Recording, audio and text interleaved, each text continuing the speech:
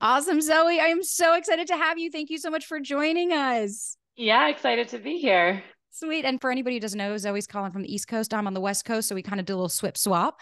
But Zoe, for anybody who is not familiar with you, can you just maybe give us a little bit of your background and what you kind of really focus on and just more about you? Because I think people that don't know you need to know you. Yeah, sure. Um, God, where do I start? I feel like I have to go all the way back to my childhood, but I won't do that too. So let's see. I, you know, I think I, I knew that I wanted to do this work from a young age. I just wasn't ready to go back to school and make the commitment that, you know, I had to make to get here. And I think I just had to learn a lot more, you know, life. I had to have a lot more life experiences, a lot of shitty relationships. I had to fuck up a lot, you know um, I say I, I am a relationship expert because I've made like every single mistake and life story called my way out of it.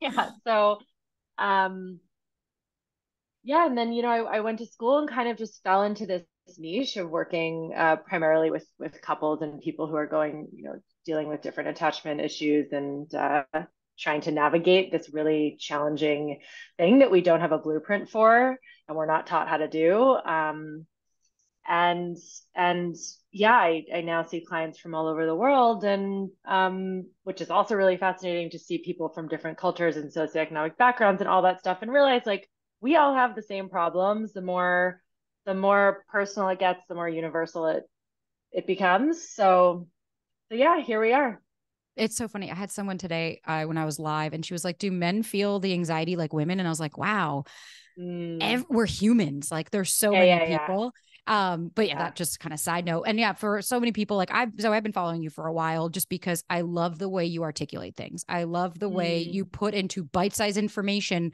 the amalgamation of bullshit that's happening in my head. You somehow seem to make it very organized. So I'm excited to introduce the community to you. And I think today something that I see you post a lot about that I talk heavily about really is like mm-hmm. emotionally unavailable, avoidant, anxious avoidant trap, things like that. And so I kind of wanted to jump in because what I'd like to do, I have my own like definitions and shit, but I'd like to hear your thoughts on like, yeah. What is it? What does it mean to be emotionally unavailable first off? And then we can kind of mm-hmm. go from there because I think that's just a term that no people are very confused about. Yeah, yeah, yeah, for sure. Well, I think um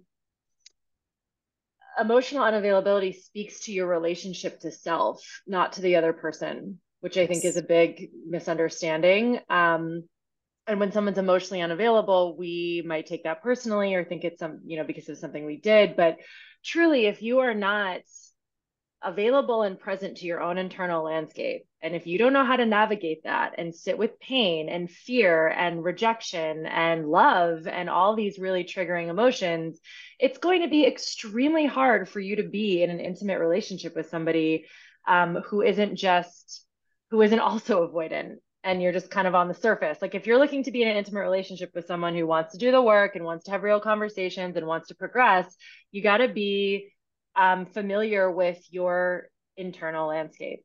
And that's what I think emotional unavail- unavailability comes down to in a nutshell. Yeah. I used yeah. to always say, I'm like, think about it. There's somebody that is so disconnected from themselves. How would you yeah. like them to also connect with you? It's like, yeah, yeah, it's not going to happen. Like, and and uh, to what you were just saying about that that person who asked that question, like, do men feel the anxiety? I mean, as as you were getting at, yes, they feel the anxiety. Um, there's actually numerous studies out there that show that men feel more anxiety than women. They just don't have a container to express it. They're not allowed to show it. So the only other option is to shut down.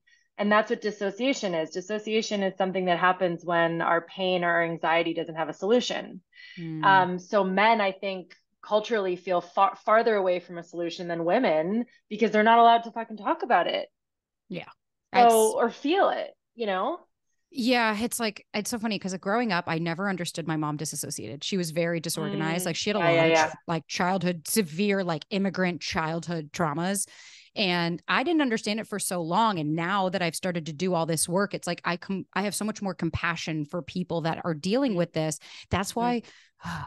the one fucking statement I hate more than anything is if he wanted to, he would, because it yeah, just yeah. it lacks yeah. so much empathy and compassion yes. of like, oh, I'm sorry, everything is just chalked up to wanting it. Well, you know what? I want to be yes. a millionaire. So I guess I'm just that's it. I yes. must not want it bad enough then. Yep. Yep. Yep. So, and I'm glad you said that because I think there's this is something that I'd really like to actually ask you.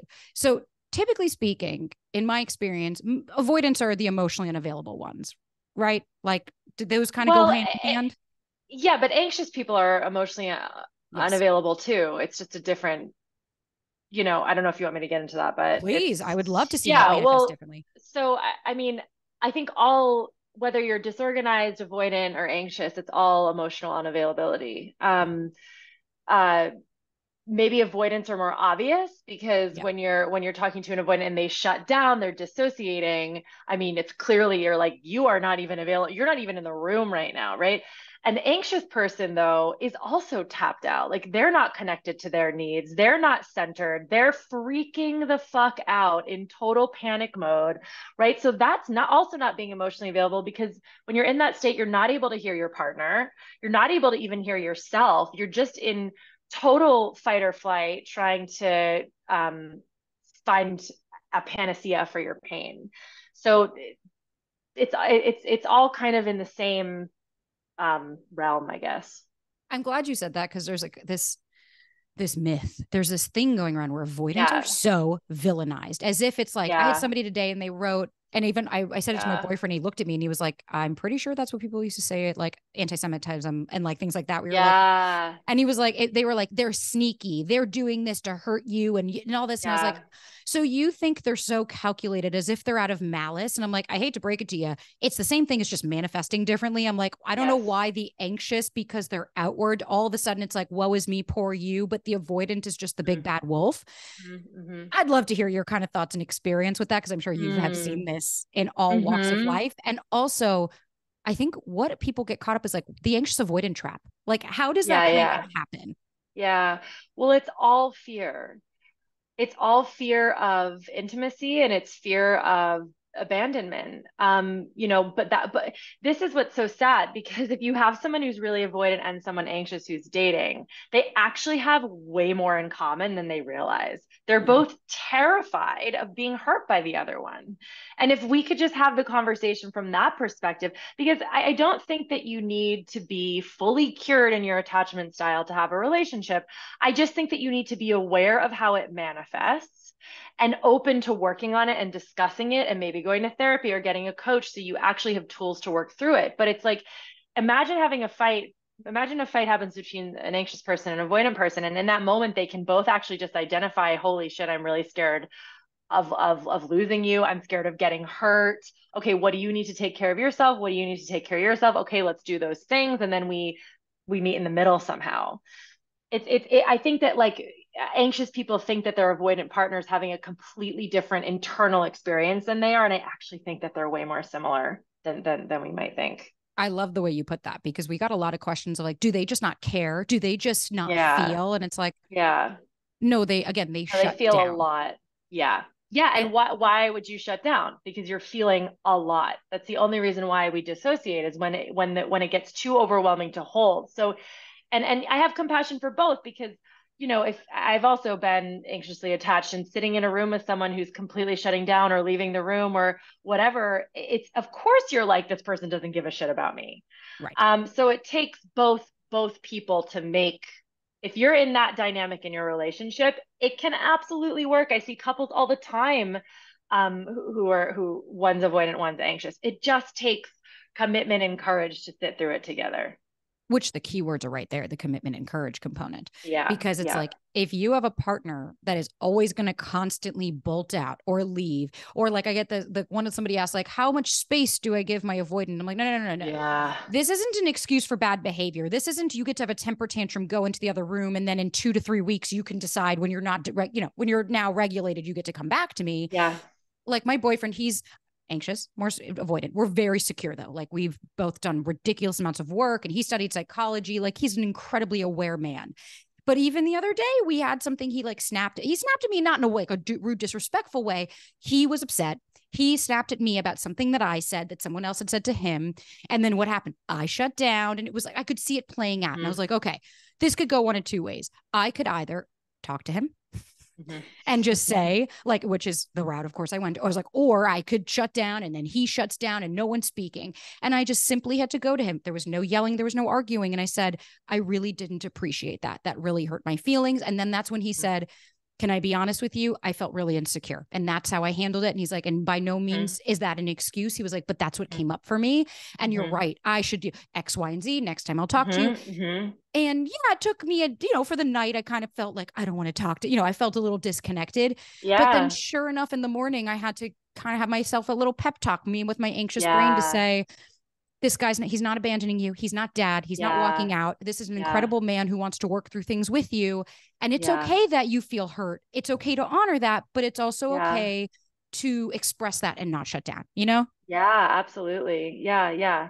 Yeah, it's so complicated and layered and nuanced. Um, and I think part of what makes it so complicated is not having the words for it. Yeah. And that's why I think more men are avoidant just simply because w- us girls have been talking with our girlfriends forever about guys and feelings and right? And then men you know don't have the same conversations that women are having. So when when they then fight with their if we're talking about heterosexual relationships like if they're then fighting with their female partner and she's using she's naming her feelings and they're like uh I actually don't know what I'm feeling. So the fact that your partner is able to be like, I feel insecure, it's like just naming it is what can heal an avoidant attachment style or an anxious attachment style, just naming exactly what you're feeling. And I think the problem is we lack the, the verbiage for it. We don't know how to communicate it, not because we're stupid or we don't care or we don't want to, but because we're not taught. And if our blueprint was our parents, well, fuck, for most of us, that's uh that's not good. A hundred percent. I mean, my first, my sister and I would always do that practice. And this is kind of even what I do with clients. It's like, where'd you learn this behavior? Like I used yeah. to say, I'm like, I'm too much. my sister was like, where'd you learn that? And I was like, yeah. dad, you know, it's like it hits you. And I was like, I had an emotionally unavailable parent who did yeah. not know how to be around. And it's like, that's all I saw. I saw my mom mm-hmm. not have boundaries and I saw my mm-hmm. father mm-hmm. treating her mm-hmm. however he wanted. That yep. doesn't need excuse or explanation. It's like, that doesn't, I'm not using yep. this as an excuse to excuse bad behavior, but it's more of a starting point of, because I think a lot of people will get upset of like, oh, if, you know, I keep going after emotionally unavailable people. It's like, well, then are you aware of what it is that you want? Do you have boundaries? Yeah. Are you speaking yeah. up? Yeah. Yeah. What would yeah. I ask you for somebody who's in that position? Because I'm sure you deal with people that come to you in all different walks of life in different parts. Let's say somebody has like never done therapy, they're kind of new to all of this. And if they're yeah. looking and saying, I'm noticing a pattern, okay, I keep going for the same kind of guy. What would your advice be in we with where you've been and all the experiences that you've had for this person to kind of start on this journey of like how to even identify what the patterns are, what's happening for them? Mm. Well, I think a lot of it comes down to self worth. And then we have to look at what environment were you raised in and what didn't you get from your caregivers, not to get so Freudian or psychoanalytic here, but it's like it all comes from our childhood. Yeah. Right. So it's like if you didn't get the love and validation that you needed, you're going to grow up with certain self beliefs. And then you're going to go out into the world and try to recapitulate that trauma with your intimate partner so you can heal it. So you're likely going to pick the same person that, you know, mirrors your mother or your father, whoever had you had the biggest wounds with, or maybe both. Um, and obviously the problem then is is that they're going to be incapable in the same way that your parents were. But we do that to try to heal it, but we end up obviously in the same situation as we were before. So uh, awareness is a huge part of it of just of just being like oh my dad was a narcissist. Oh my mom was codependent. And you know i was there was triangulation and i was the scapegoat and i felt like everything was my fault. So now i date men who also blame me for everything or whatever it is. It's like you you you kind of get a little roadmap from where you started and how you ended up there. Um and and make sure that you know when you're starting dating somebody, you're not following the same the same roadmap.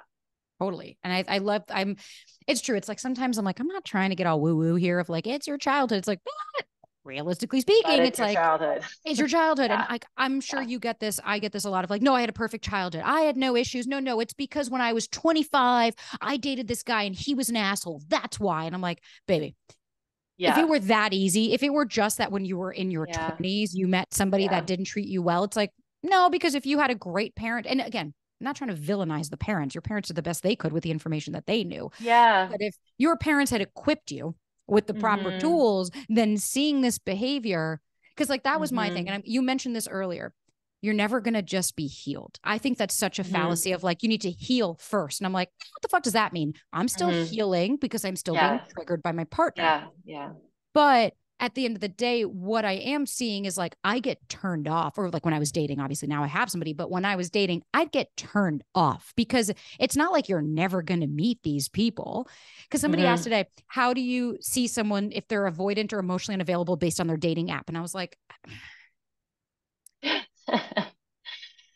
fuck if I know. You know what I mean? Yeah, I was like, I have yeah, no yeah, idea. But what I do know is that within the first few minutes of a conversation or on a date, I'll usually be able to pick up on that. And I'm like, oh, you're avoiding this conversation.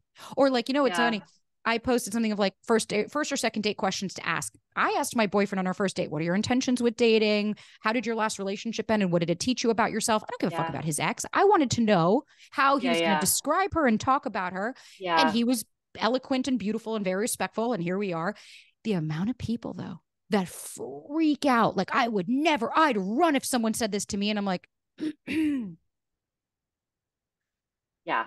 Do we call out yeah. the elephant? yeah, yeah, yeah. Yeah, it's hard. You know, what I was saying earlier about relationships being nuanced is I mm-hmm. hear so many different ways that relationships started. Yeah. And that's something I think that we actually don't hold enough because of our own fear. And I admit to this, like some I've definitely done this before where it's like, give me the black and white.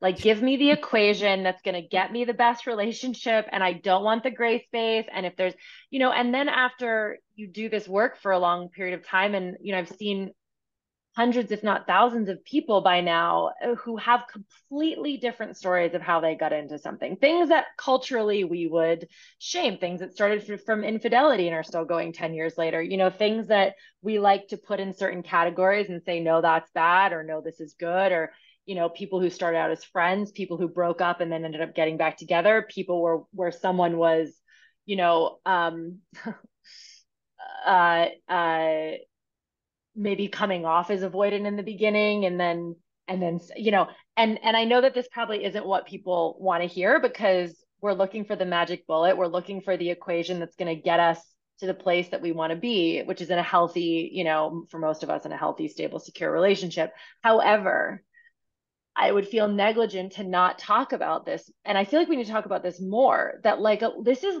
this is why it's so important to form a relationship with yourself first because it, this is about not only having intuition and sometimes throwing away the rule book and saying how do I how do I feel about this do I trust myself enough to move forward with this? And do I trust myself enough to pick myself back up if it does fail?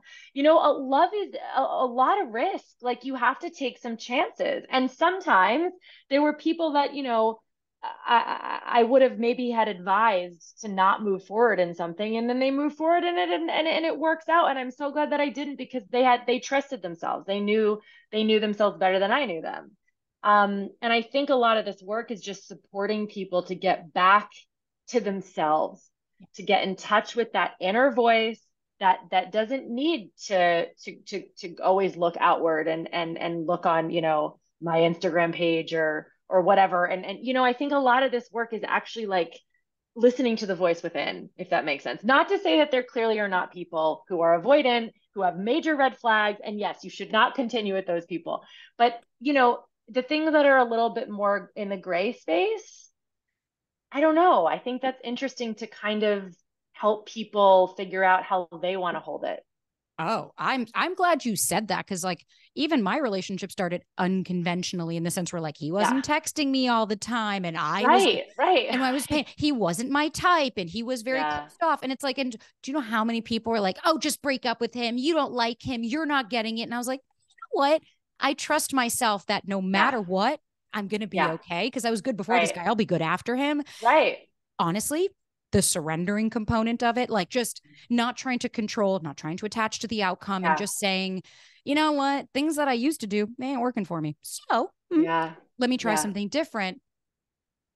because it's true. It's like I will I'm kind of with you. Like I will when people ask for advice, I'm like, listen, I'm not going to tell you what to do. I'm not going to tell you what to do because I'm not you. But what I will say is based on the information that I've received, because I can only go based off of the limited information. Yeah, yeah, yeah. Here's what I would deduce. If I were going to take my money and bet on a guy that after six months is refusing to put a title on it, doesn't want to have conversations with you, you still find him on the dating apps, yeah, yeah, your needs yeah. aren't being met. No, I'm not going to tell you to keep investing further into this person. But yeah, you've met somebody and after a couple of dates, there's a little confusion and I don't know. And is this a, yeah, if you trust yourself going, yeah, well, no matter what, I'm going to be okay because that person doesn't owe me anything. I yeah. think then you can change the way you date and change the relationships that you'll have with people because, oh, here's a spoiler to all of my anxious folks.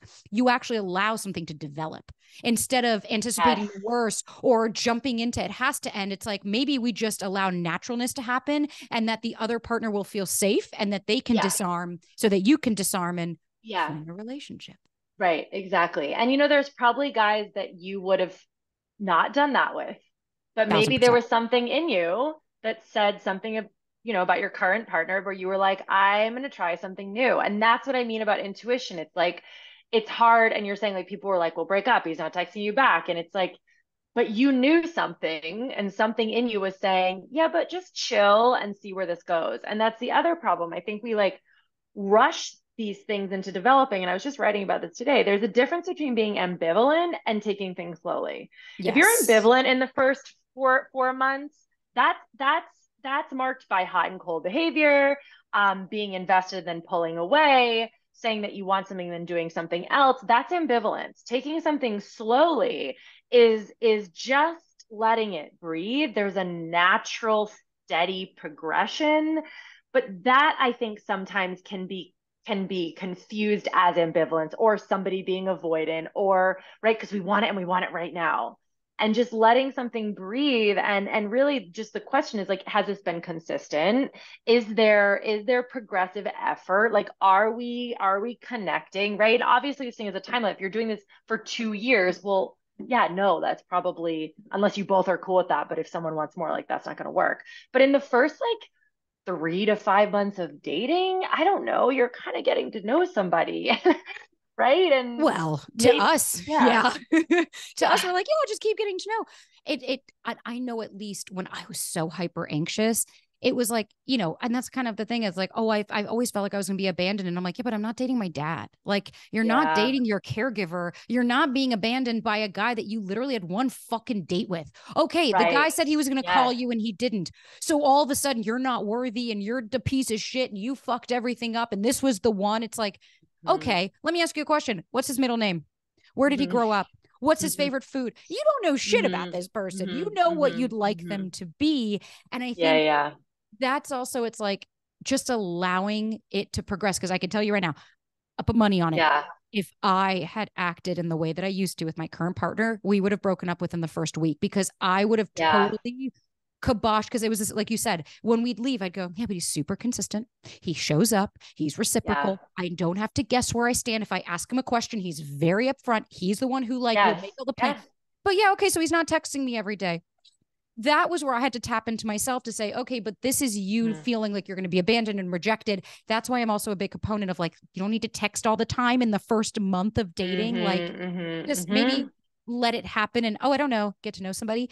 But yeah ultimately too understanding that the point of dating is to see if yes. you have something yes. not yes. there's no commitment in dating yes yes yes you you someone once said to me you need all four seasons to get to know somebody. And that.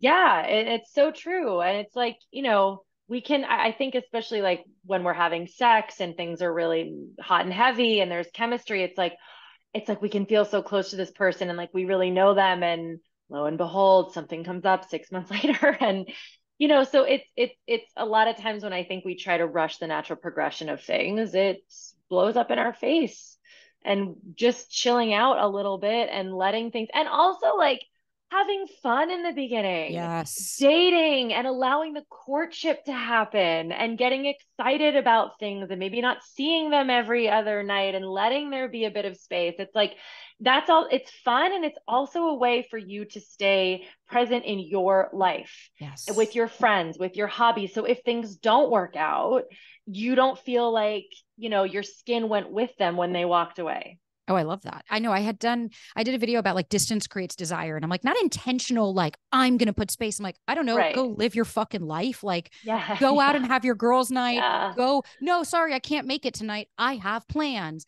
Yeah. Do You watch, uh, for a lot of people that follow me know I love this fucking show. Do you watch the show? Um, it's trash. Love during lockup or love after lockup? No, oh my no. God. Oh my God. It's uh, my boyfriend. He was like, listen, if we're going to watch trash, we're going to watch the best trash. And it's, it's exactly kind of what we see. It's like these people that have these completely digital relationships with inmates, like these people uh-huh. are in uh-huh. prison. And so there's somebody on the outside and there's someone on the inside. And oh, sure, wow. and it's like, it's kind of like 90 Day Fiance too, where it's like, you know, they're uh, they're apart. This is exacerbated, obviously, because they're in prison.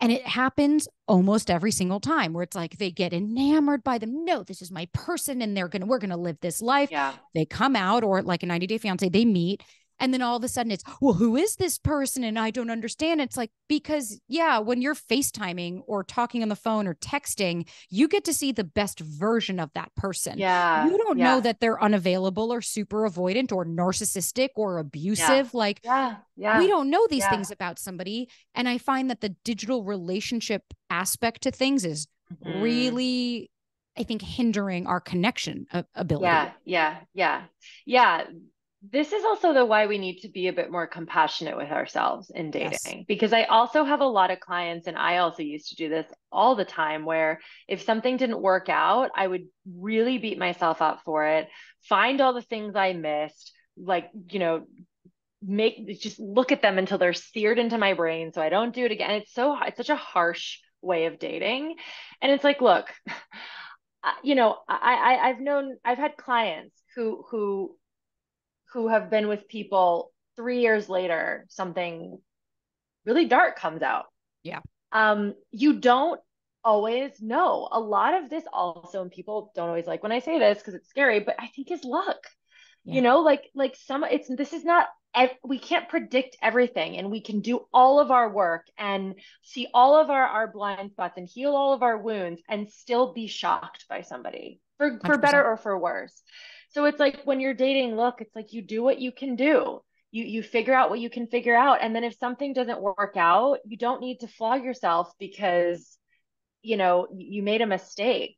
And I think that's another another thing to to really pay attention to is um and this is why dating, not jumping into a relationship, but dating is important mm-hmm. because it gives you the space to collect data points without beating yourself up when something comes up three months later because you've still you still have um, a, a, bit of autonomy, if that makes sense. I yeah. was, I mean, I still dated other people when I was still yeah. actively seeking my partner because it's like, sorry, I don't really know you that well. Like, and yes, I think a lot, of, yeah. I've had like a friend of mine, she dated a guy, and after the third date, he asked her to be his girlfriend. And she, when she, the minute she told me, I went, whoa, why? Why, why yeah, is this person asking you to be their girlfriend after three dates? No. And she was very defensive with me. And I was like, you know, what? listen, okay, I'm backing off. Like, sure, sure, you do you. Sure enough, what happened? A month later, we find he's wildly avoidant. And when she confronted yeah. him, his response was, I get jealous when I saw when I see people I'm dating with other people. That's why I wanted. And she's like, That's manipulative. He's like, Yeah, I guess so. And I yeah. had to stop. And I was like, okay, let's look at this. Like, let's actually take this to understanding. Like, we are looking so hard at like that's why I don't even like actions speak louder than words. I'm like, no, no, no, no, they have to match here because one mm, doesn't yes, isn't yes, more yes, important than the I other. Agree. Yeah. Uh-huh that's not how this works. It's like, but there mm-hmm. are a lot of people that will say, I want exclusivity after one or two dates. And it's like, no, it's because you're trying to quell your anxiety. You want to feel chosen yeah. and you want to live yeah. the fairy tale and storybook. But here's the one thing that yeah. my our anxious folks, like you said earlier, are not going to like. It takes time. Relationships and real love and that ride yes. or die doesn't happen after three weeks because you spend every night together. Yeah.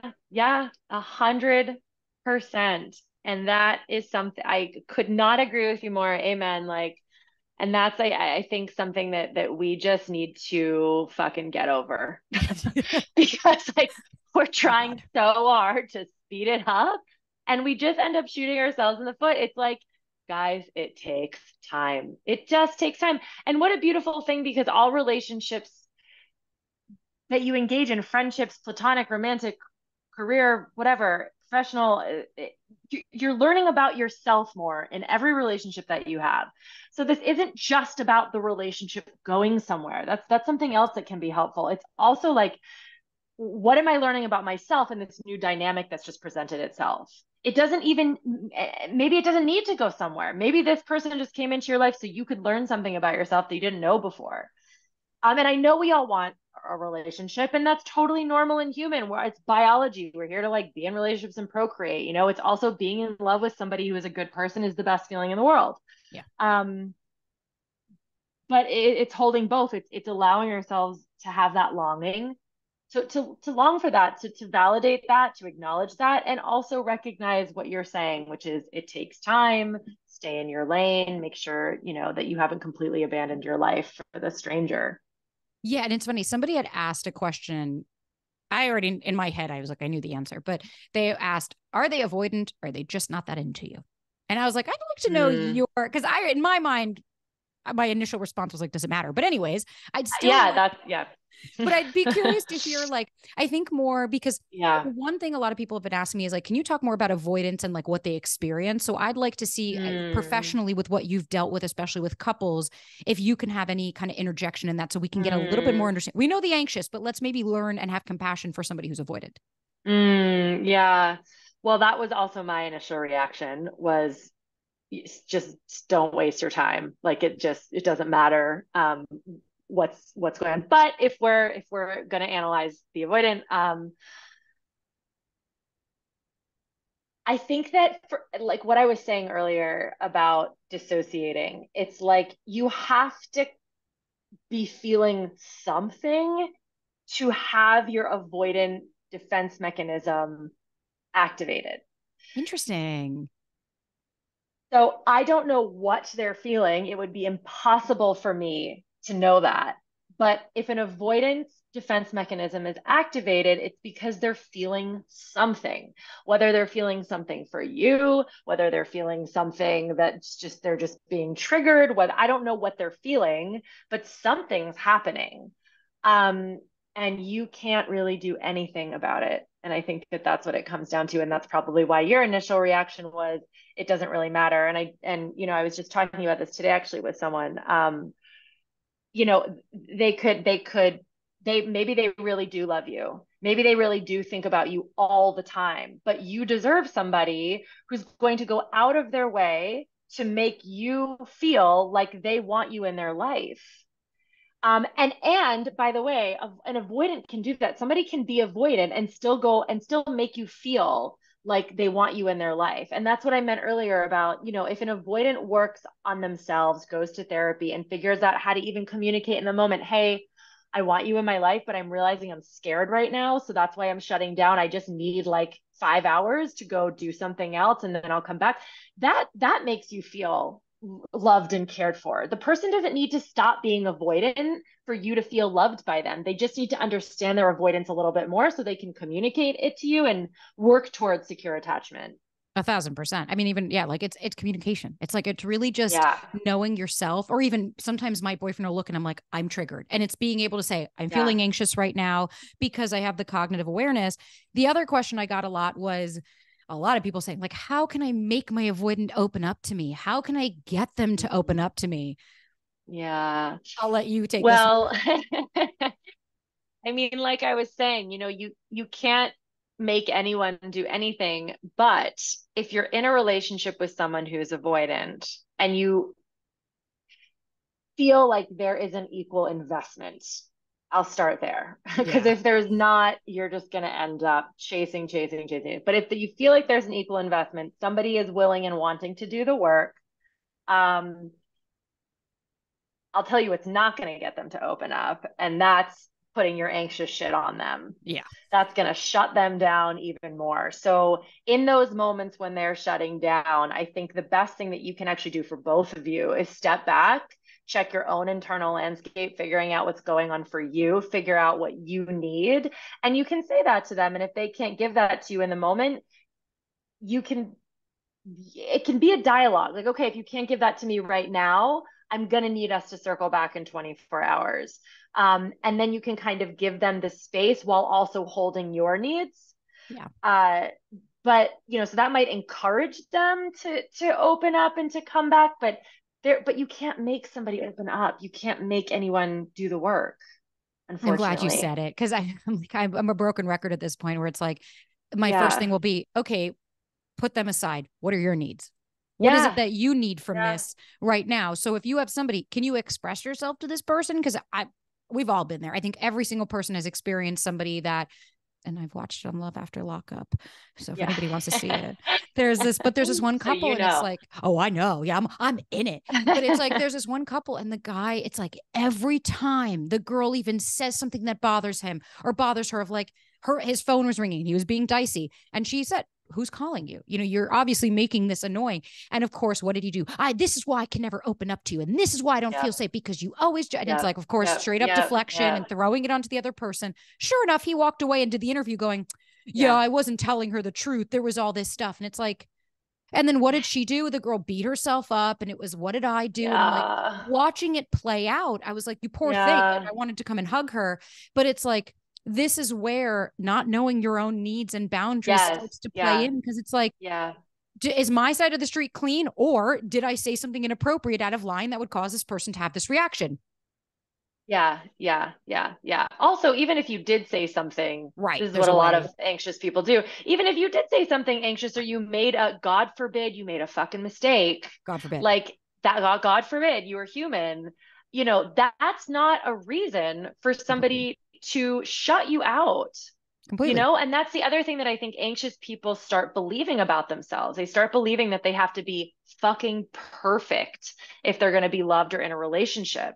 And if they're not perfect, then they're going to be shut out, ignored, blocked, abandoned because that's what historically has happened because if you're dating someone who's avoidant they also tend to deflect yes and not, again not to i mean everyone's deflecting in this dynamic but they're deflecting in that way. And then the anxious person is like oh my god then it's all my fault. I take all the blame. Let me fix it. But if i'm the problem i can be the solution. And you know and that's the other thing. The the the, the anxious person then starts to really embody being a victim um yes. sorry sorry sorry sorry. Being um well being both i guess but also being a perpetrator. Because it, because if they're the ones who caused the attachment bond to be threatened then they still have some semblance of control over whether or not they can heal it yeah Oh, 100%. No, yeah. I'm glad you said that because it's true. It's like, I'll get that word. And I'm like, how much, you know, it takes two people, right? It's like, you can't own everything. It can't all be your fault. It's no. like, so yeah, like you said, I'm glad you said that. It's like, oh, so that gives, so you being a human and saying, hey, I don't know. I'd love it if you planned a date for us because I I don't feel like you're putting as much equal interest. A normal fucking cognizant adult would go, "Huh? Well, what make you think that? Oh, you know, I've noticed in the last yeah. three weeks you haven't eh, planned a date. Sorry, you're right. No, I I'd let me let me plan a date. Yeah. You're right. That I can see how that might make you feel. Great. Versus hey, I've noticed this, or like, oh, I don't know, something simple as like, hey, can you call me? Just something very basic. And all of a sudden it explodes and it's, I, my needs are too much. And I'm like, no, no, no. Again, yeah. where did you learn that? Like, mm-hmm. just because you had a caregiver that when you expressed yourself, they shut down doesn't mean that now mm-hmm. that's all you're deserving. But if that's all you think you deserve and that's all you think you're worth, again, coming back to the self esteem, well, then yeah, you'll just yeah. keep you'll just keep allowing that into your life. But the number one thing I do see I know you might have Freudianly said victim, but I do see that a lot of like it's yeah. very woe is me. It just keeps yeah, life is happening to me, not for me, and they just keep treating me poorly. And it's like, yeah, yeah, yeah, yeah, yeah. The anxious attached person holds both archetypes of the victim and perpetrator and uses them as as weapons. That's the shadow side of mm-hmm. of being the anxious uh, attached person, right? Because when it's when it's convenient to be the victim to get them to stay, you're the victim. When it's convenient to be the perpetrator and blame yourself for everything, you're the perpetrator, right? It's I like that. And what would you say yeah. would be that shadow archetype for the avoidant? What does that kind of look like? Oh, that's a good question. I mean, I think I think both, but yeah. in different ways. Okay. right? I think it because um I mean the avoidant person their their main goal is to not be invested in whatever um it, it's to protect themselves from from intimacy and from getting hurt so man i don't know actually i need to think about this what, we'll, what we'll, we'll circle back we're gonna do yeah i would love to have you on for a part two because i'm sure yeah. we're gonna get more questions but great yeah. we'll cue that one and let's see i'm gonna choose one last turning. yeah well, let's do one last question before we kind of break it off okay so somebody asked how to be emotionally available and break the cycle of over analyzing to run away. So I think this person is coming at it from a more avoidant stance. So kind of we've answered this, but I'd like maybe a recapitulation of maybe for both people. If you are noticing that pattern, what is the first thing you can do to break the cycle? If you're emotionally unavailable. Seems like it. How to be like they said how to be emotionally available and break the cycle okay. of over analyzing to run away. Okay, of over analyzing to run away. Um Mm, so kind of using like uh like overthinking as a as a way to just yeah. Yeah. Um yeah, I feel like now I'm kind of I, I guess repeating myself, but it, it really truly is about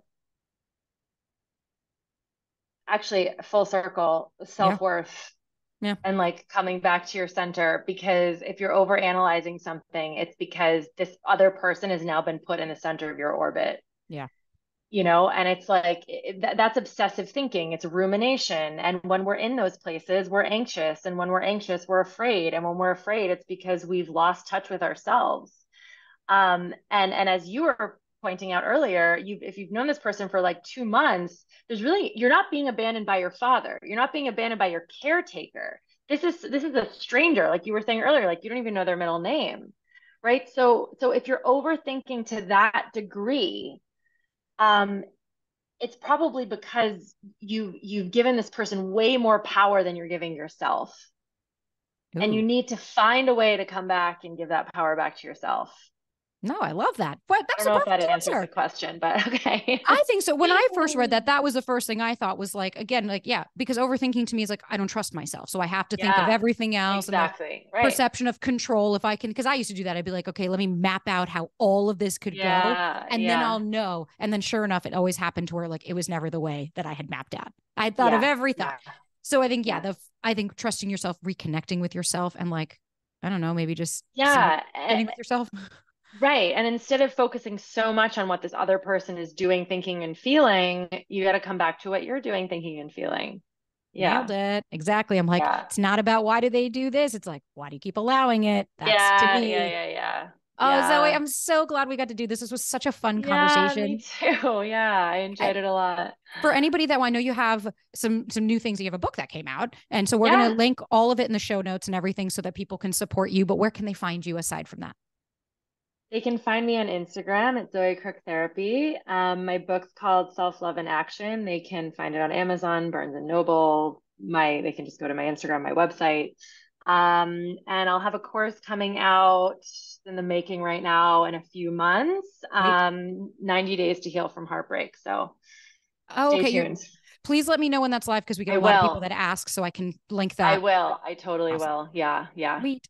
Thanks. Awesome, Zoe. Well, and for everybody to know, I'll link the book, I'll link your Instagram, I'll link your website. So everything will be in the show notes. They can find you, but just in case, at least now they know. Great. But great, awesome. Great. Thanks, Zoe. Thank you.